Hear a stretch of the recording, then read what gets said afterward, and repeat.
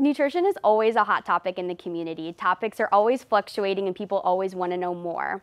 One of the big trends that I've been seeing recently are mocktails. In other words, cocktails without the alcohol. I love mocktails. What a great way to get in some extra hydration throughout the day, keep you feeling better during those summer months.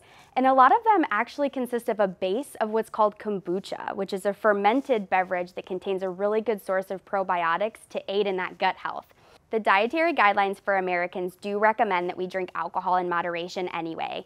For context, that would be less than or equal to two glasses of a standard alcoholic beverage for men, and then one or less of an alcoholic beverage for women. At the end of the day, it's always better to drink less alcohol than more.